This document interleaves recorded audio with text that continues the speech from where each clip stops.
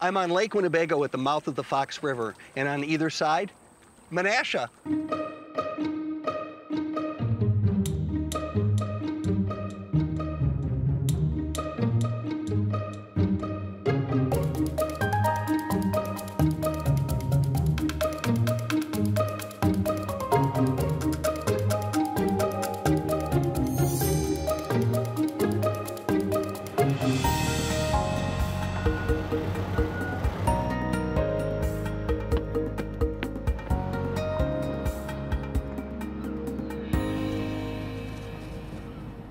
Menasha, meaning we're in the Fox Valley, meaning that there is water everywhere. Um, Lake Winnebago, the Fox River right over there. This is the canal that, hey, hey, John. Hey, John. How are you? Pretty good. So a few seasons ago, we did Neenah, Uh-huh. and now this season, we're, we're doing the other side, Menasha. Yeah, they've always been Twin Cities, John, Yeah. uh, but they actually began as one settlement. And the reason is geography. Uh, this is where the Fox River empties from Lake Winnebago on its way to Green Bay. And the outlet actually had two channels, and they were about a mile apart. They reconnect just uh, downstream from us to form Doty Island. And they both drop about 10 feet early on. So what you had here was what they call Winnebago Rapids. And it was obviously a great site for water power. And when did Winnebago Rapids become Neenah Menasha? real early. At first, there was one partnership that tried to develop both channels, and the partners decided to go their own separate ways, not amicably, uh, back in the 1840s. So Menasha developed here, right here on the North Channel. That means island in the native tongue. And Neenah develops on the South Channel. That means running water. They became fierce rivals, and the issue was always water power. And who won? They, they both won. Oh, they did? Uh, they both built dams. They both attracted industries. Uh, but Menasha won the contest for state canal improvements back in the 1850s. So by 1856, the canal right here was carrying steamships from Fond du Lac and Oshkosh all the way down to Green Bay. What that meant is that Menasha became the more industrial of the Twin Cities. So the riverfront was just lined with factories. Uh, by 1900, Menasha had 30 plants, employed around 2,500 workers. And making what? All kinds of things, John. Uh, pumps, pulleys, books, and my favorite product was lumberjack socks. Oh, yay. But by far, the biggest employer was right across the canal. That was Menasha Pail, and they became the largest woodenware manufacturer on the planet. Uh, they made pails, they made barrels, they made butter tubs, they made washboards, and they made wooden clothespins by probably the, the millions. So by 1900, Menasha Pail employed more than half the town's workforce. And the owner was a Yankee named Elisha, Elisha Smith, who became a leading citizen, uh, gave money for a library, used to stand right here before they moved a few blocks north uh, back in the 60s, and gave land for what's now Smith Park in Doty Island. And is Mr. Smith's company still around? Still is. Now it's called the Menasha Corporation, Oh, uh, okay. headquartered south of here. Okay. Uh, and they've long since switched to plastic and cardboard products. The last wooden pail was made back in 1957. Wow. All, these factories, who worked there? Uh, the same mix of immigrants you have elsewhere in Wisconsin. Uh, Menasha's workforce was largely German, Polish, Irish. Neenah was also attracting industries, and both cities made the transition gradually to paper manufacture. So early 1900s, the Fox Valley becomes Paper Valley, and Neenah and Menasha were right at the heart of it. And the economy today? Paper's still a big deal in the valley, John, but there's also been a lot of attrition. As you can see, Menasha's waterfront is no longer as industrial as it mm-hmm. once was. It's also given the city a lot of redevelopment opportunities, and this work began back in the 1980s. Now Menasha has a downtown marina, a really nice river walk complete with housing, and parkland where there used to be just factories and mills. Population? About 18,000, and still largely German, Polish, and Irish, but also about 7% Latino. And the boundaries? The city of Menasha covers seven square miles at the very northwestern tip of Lake Winnebago, right where the Fox Valley starts. Oh, good. And good biking? Good biking. Yeah, there's a great friendship trail here. I haven't been on it yet. I'm going to have lunch with you and then take off for the Trestle Trail. It goes across Little Lake Butte des Morts and then on into the countryside. Will you take a nap in between? I know. I No. just think so. Okay. Thanks, John. See you, John. So, this has nothing to do with what you make. See that right there?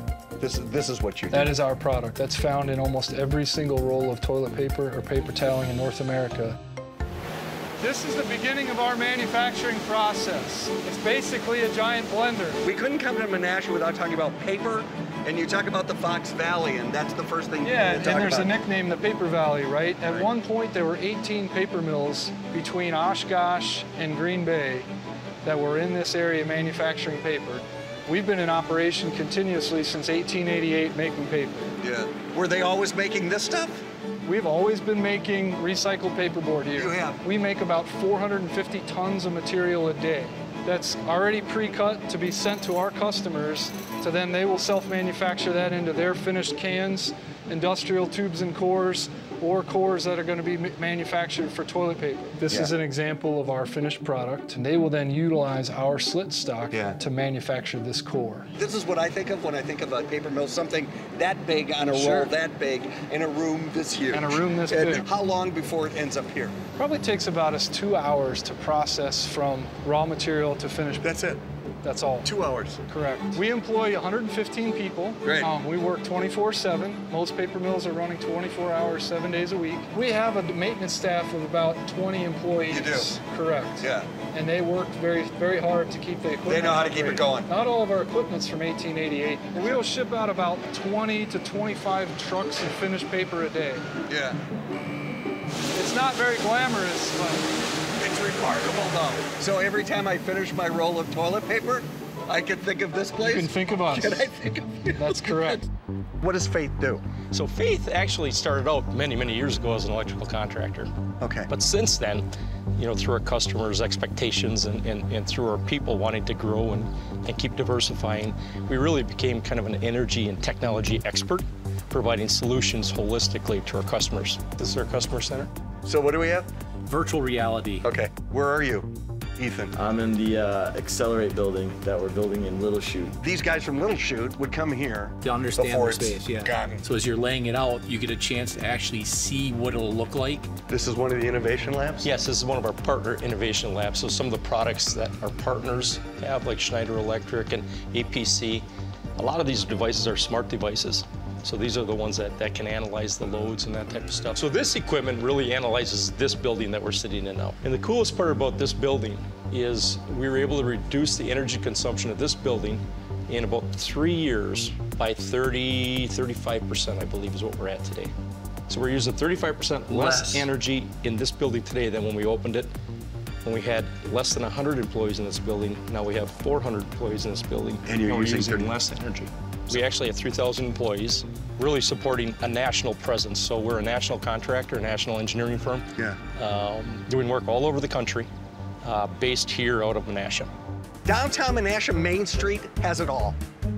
Breakfast and lunch at the Weather Vane. Children's boutique at Lemon Loves Lime has an ice cream shop. Come on. A great woman's clothing store and Esther's Attic. It's gorgeous.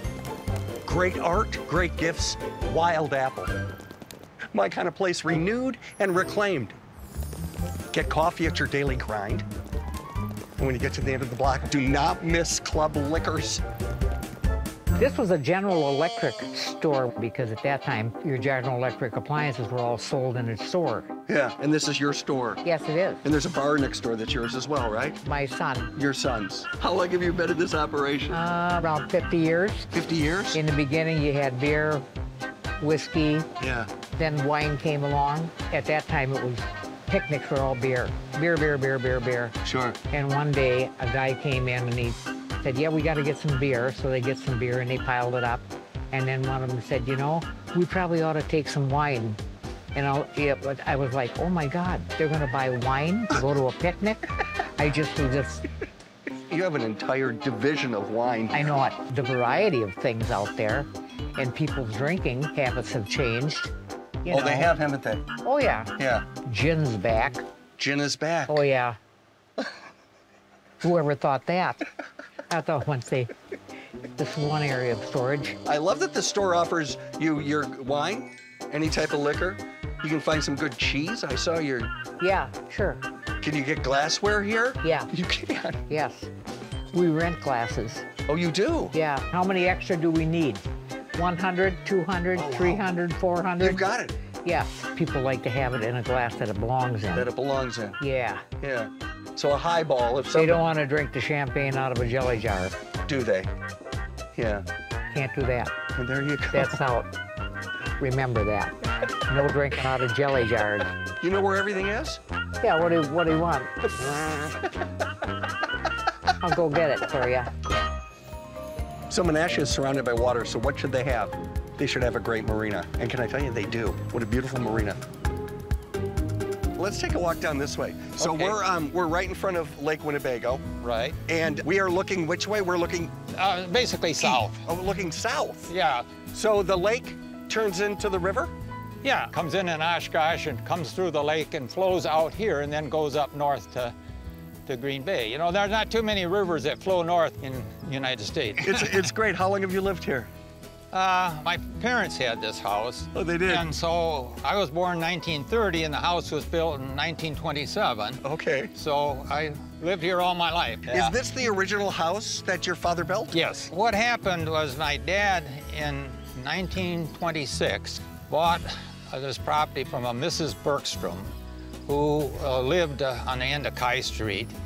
And this was kind of a farm. Originally, there weren't, you know, like three or four homes down here. And then uh, eventually, uh, I think there's about 28. It's a nice, quiet area, but yet you're close to town. Yeah. And is life really kind of controlled by the water? Kind of an interesting time of the year, actually, is in the late winter here because there's some fish that die, and this is open because of the current in the, from the river. And the dead fish come underneath the ice and into the open water, and sometimes we can have 25 or 30 eagles here coming to feed on those fish. They sit, Dinner and- time. and sit, sit on the trees over here. Yeah. And uh, they're kind of fun. If you like to watch eagles, they're there.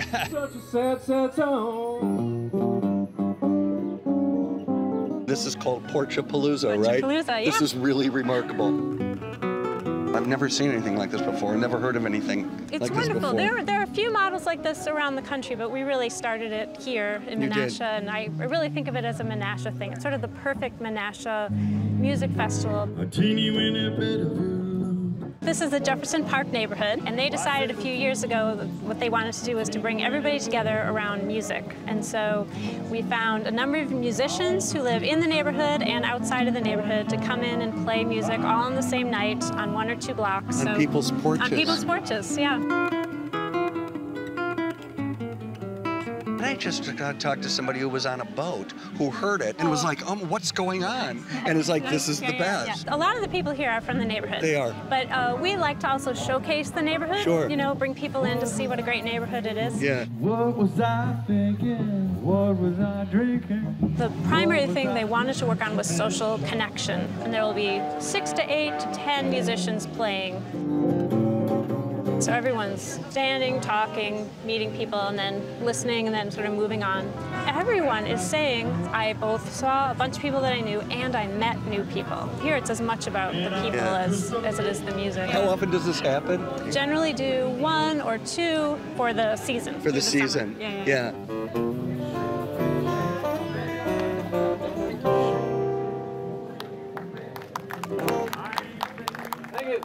We're at Heckrodt's, a wetland reserve. Have you been to this place? It's kind of remarkable. It's um, this is the beginning of a three-mile loop that's accessible to all. It's loved and completely supported by this community. It's a lot of wildlife, it's a lot of nature, and it's right here in Menasha.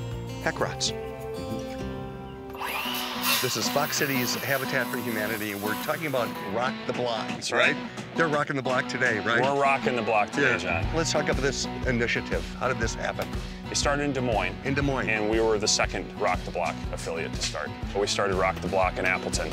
And we were anticipating maybe eight or 10 projects in that neighborhood. We ended up with 31 projects in that neighborhood. Just keep going.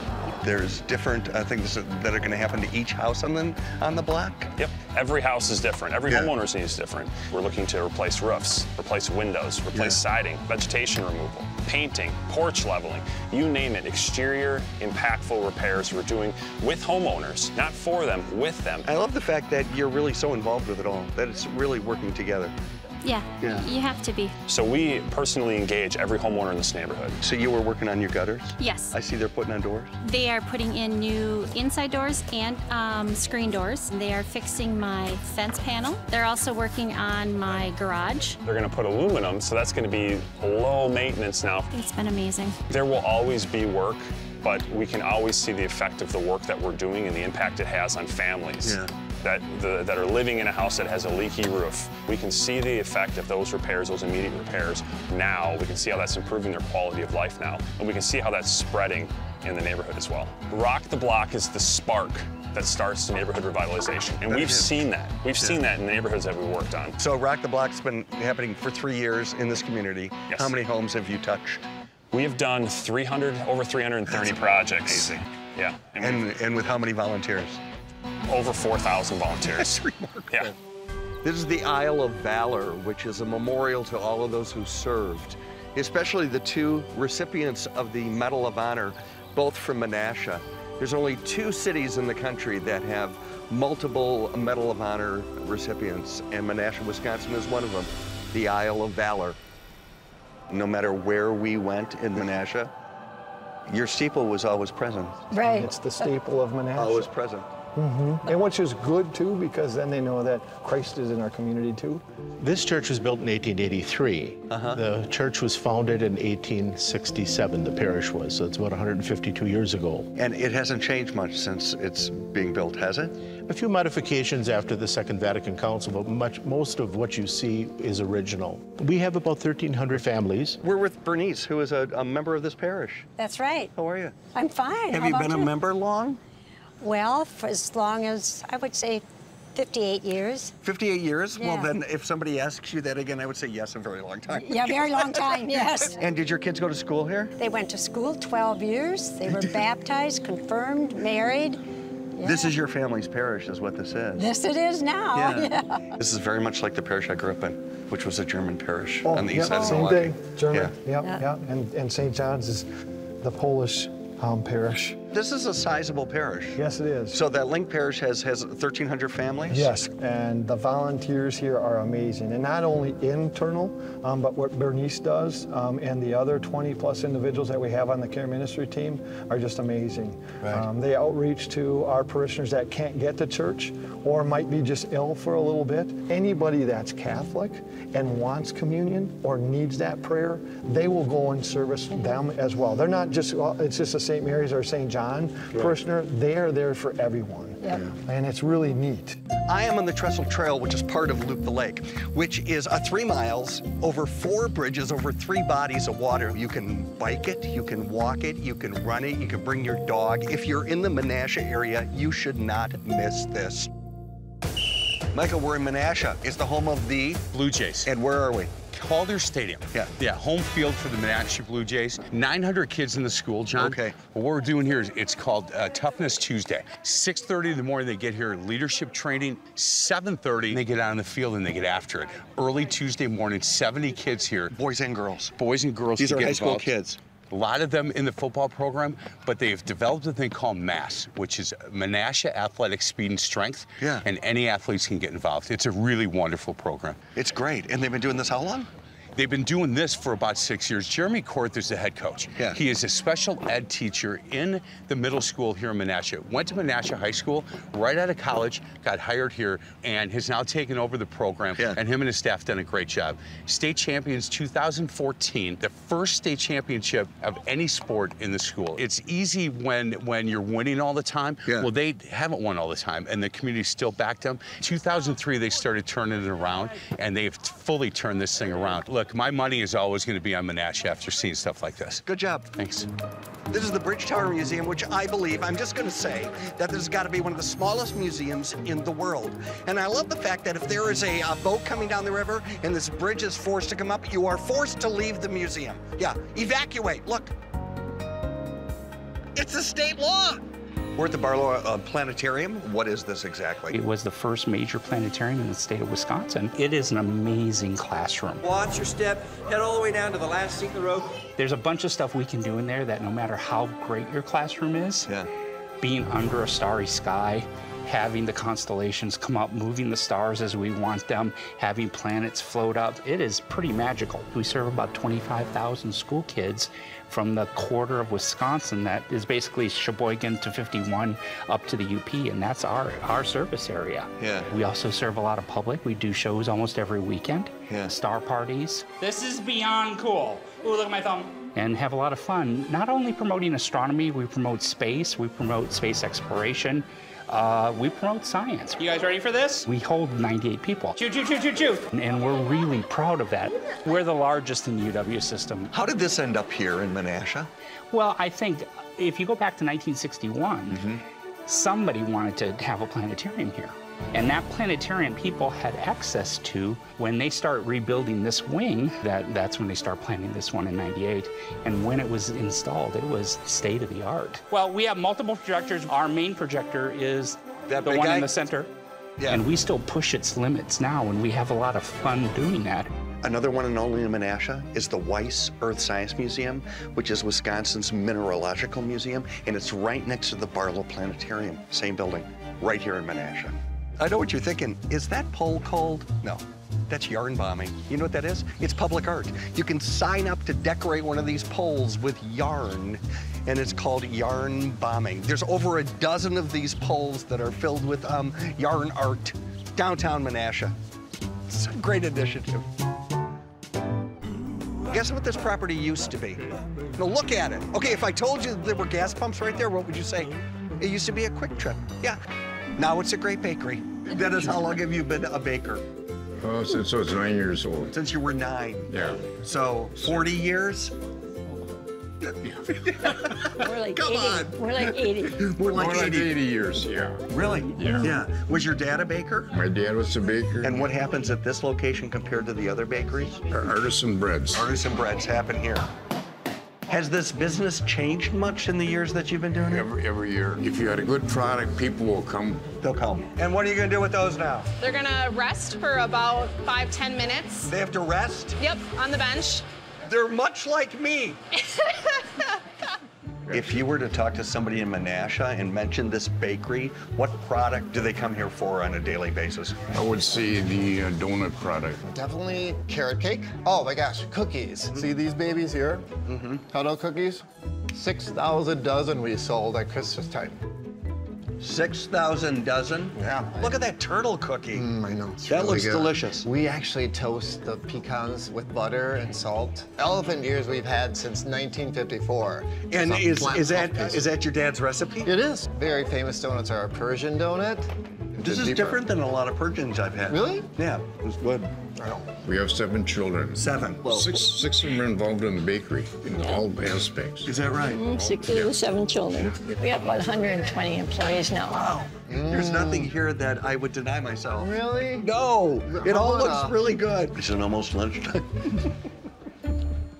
This is what I've been told. This is what I should order. Okay. I should order a Mihm's with half butter, Okay. half onions. Okay. And they said you have to have a chocolate malt.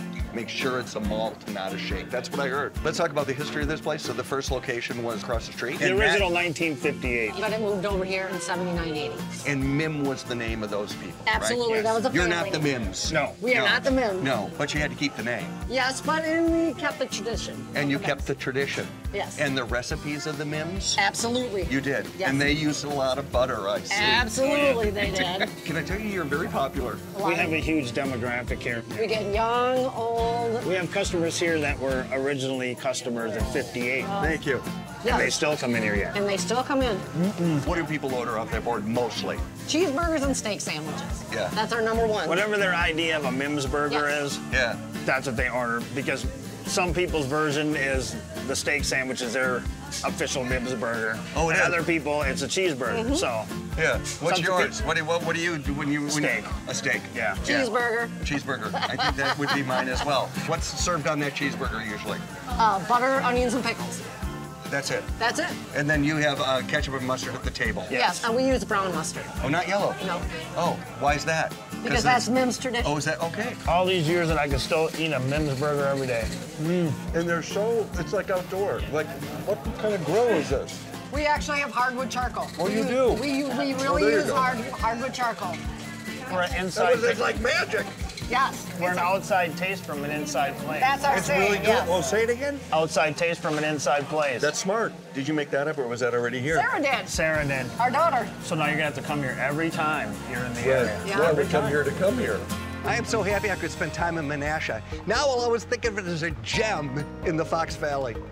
We love Menasha. I do too, thank you. Yeah, it's a, it's a good town. Good. I'm Here glad is you the enjoyed it. drill. Okay. Mayor uh, Don Merkes, you have 30 seconds to tell us why um, Menasha, Wisconsin is the best place in the world to work, live, and play. And Mayor, you can start now. Well, we like to call Menasha your place on the water, and it's because water is a part of our lifestyle here. We're a community of diverse neighborhoods. We have neighborhoods from historic to new, houses big to small, but no matter what neighborhood you're in, you have great access to all these amenities, the waterfront, the outside. Makes Menasha the perfect place to live an active outdoor lifestyle. Yeah. And we're part of the third largest metro area in the state. So on top of that, we also have great opportunities for education and employment. Yeah, you're done. That's it. That's perfect. He who walks with thunder is luckier than he who walks with lightning. That guy's dead. Awesome. That's half butter? Mm-hmm. Shut up. Yeah. John Menasha is a lovely place to visit. And our visit would not be possible without the generous support of our underwriters. So underwriters. Thank you very much. Thanks. The Greater Milwaukee Foundation's Ernest C. and Florence M. Shockey Fund. And by the David A. and Nancy E. Putz Fund.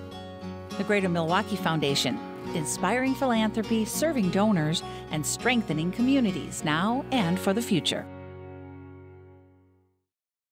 Michels Corporation, serving the energy, transportation, telecommunications, and utility industries. Michels, constructing North America's infrastructure for our future. We Energies Foundation and Wisconsin Public Service Foundation are proud to support public television. Together, we create a brighter future for the communities we serve. ATC moves electricity from where it's generated to communities where it's needed. American Transmission Company, helping to keep the lights on, businesses running, and communities strong.